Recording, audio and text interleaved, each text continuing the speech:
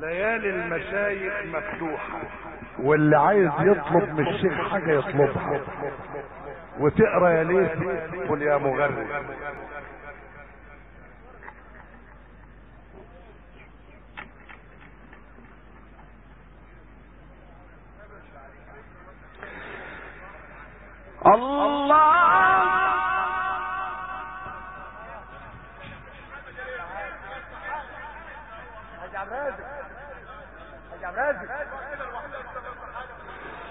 الله!